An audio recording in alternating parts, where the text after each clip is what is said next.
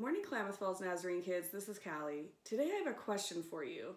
Have you ever been scared or worried or felt anxious? I know I have. Sometimes there's things that I just make me feel so nervous or kind of anxious about.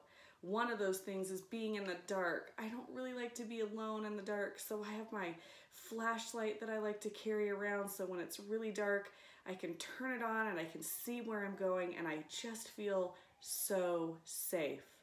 Sometimes when I'm feeling anxious, I like to have a teddy bear or just a stuffed animal that I can just hold and squeeze and it makes me feel so much better. And I don't know what it is for you, but I bet there's something that you get worried about or you feel kind of anxious or nervous about. And today I want to talk to you about what does the Bible say about when we're feeling worried or anxious? What can we do with those worries and those anxious thoughts? And so today I'm going to read to you out of my Bible in the book of Philippians, chapter 4, starting in verse 4. It says, Rejoice in the Lord always. I will say it again, rejoice. Let your gentleness be evident to all. The Lord is near. Do not be anxious about anything, but in everything, by prayer and petition, with thanksgiving, present your request to God. And the peace of God, which transcends all understandings, will guard your heart and your mind in Christ Jesus. Wow! I take such comfort in those words. Those are powerful words.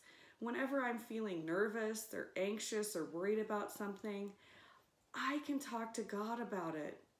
And He says that when we tell Him our anxious thoughts, when we give our prayers to Him and tell Him what we're worried about, He will give us peace.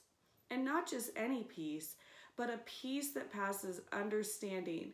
That means that when you pray about it, sometimes you might be like, whoa, I feel so much better. It's amazing.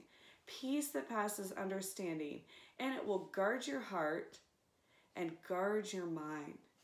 And to guard your heart and your mind, it's so important that you think on positive things, think on lovely things, think on the truth of God's word.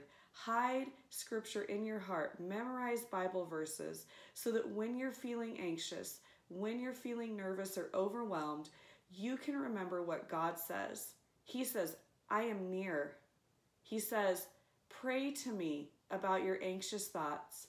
And he says, I will give you a peace that passes all understanding and guard your heart and your mind so that you can have comfort and you can know that God is with you no matter what you're facing. So I hope you guys have a great week. And remember, God loves you, and so do we.